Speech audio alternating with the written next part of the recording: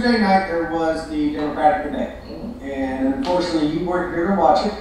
Uh, she just got home uh, and hasn't had the opportunity to. It is recorded and ready for her.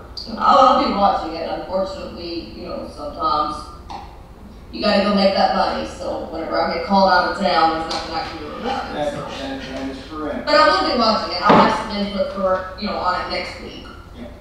Uh, however, uh, I started watching it about two thirty in the morning because of my work schedule, and loved, loved, loved, loved the fact I only had to watch one debate. That's what I love most about this debate. I only had to watch one.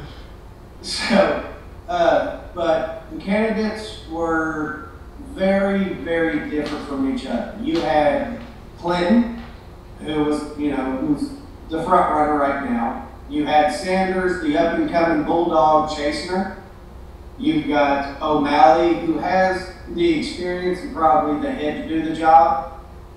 And you've got Webb, who has the military and foreign background like none of the other candidates other than maybe Clinton. Mm. Only difference is he's actually served. And we'll talk about his creepy comment about him serving. so, uh, but uh, after that is Chafee. And God love the man because I don't. But that, that's just my take on it. Now, um, again, she hasn't seen the debate, but you guys have. So I personally think that if, we went in order, Sanders won, then Hillary, O'Malley, Webb, Chafee.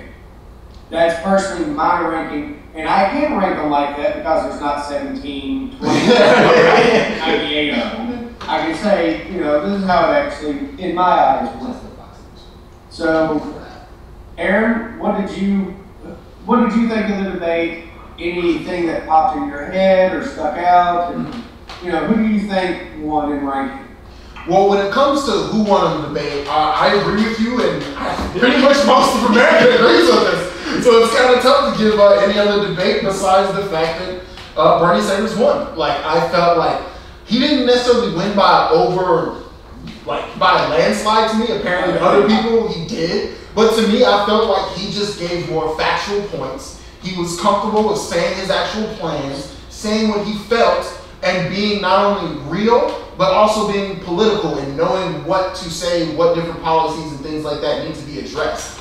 So I would agree it goes, in my opinion, uh, Bernie Sanders, Hillary Clinton, O'Malley, and then Chafee and Webb were a tie for me because um, I felt Webb was just uh, way too military and didn't really know what he was talking about, didn't know policy, didn't really know politics outside of his own little So military it realm. seemed like he showed up to the wrong debate. Yeah. He meant to be at the Republican, Republican debate, yeah. but he showed up to the Democratic one. Oh, he was a Republican candidate?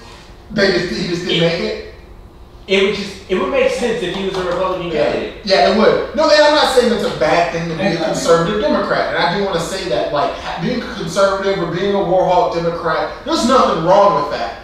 But he didn't have really any Democratic values that I could really pull from the debate. And I like Chafee, which is why I should give Chafee a bit of a pass. I feel like Chafee is a bit of an introvert, and for someone who's an introvert, it's very hard to get on a stage, even if you have all the knowledge in the world, and give a good argument, just because you feel so awkward on stage. And I don't feel like that's his fault. That's just kind of who he is as a person. And I felt like Chafee came with some good facts, with some good knowledge. He just couldn't get them out fast enough, with or clear enough, which made him seem very weak in a debate. But I feel like if he had to sit down and write a policy plan, he would have one of the best policy plans up there. Okay, I can see that. I I have to disagree with you on Chafee. I'm sorry, Chafee, the only time he spoke well is when you knew it was rehearsed. You absolutely knew it was rehearsed. And Anderson Cooper shut him down with the first question. You've been a Republican, you've been an independent, now you're a Democrat, why are you?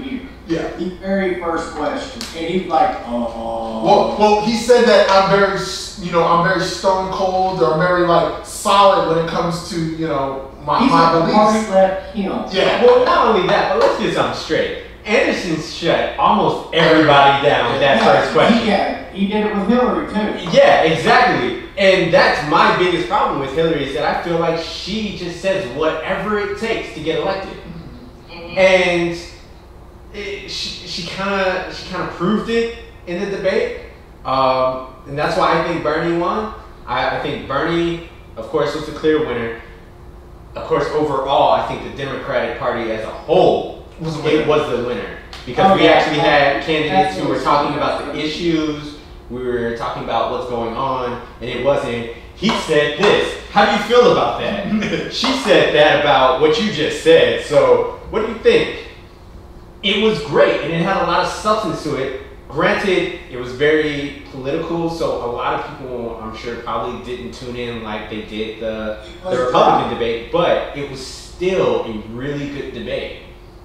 No, and, and the thing that was funny to me is almost every single candidate on the stage acknowledged that that's what debates are supposed to be for. Exactly. Especially uh, O'Malley, he was like, I am so happy that I'm up here in this debate and we're talking about the issue. Exactly. We're not talking about other that stuff, yeah. another. Yeah. So it's it's again, I think they as a whole collectively kind of attack the Republican Party, which is what you're supposed to do. Whereas the Republican Party tends to attack each other and devour itself, which ends up with a candidate who's been ripped to shreds, been through too many debates to hold up a decent debate against someone who's still fresh. Someone who's only gonna do eight debates, you know what I mean? You've done 16, you know, you gotta do six more. How fresh are you by the end of that? And I think that's what's really hurting the Republican Party and gonna continue to hurt them when it comes to the debates.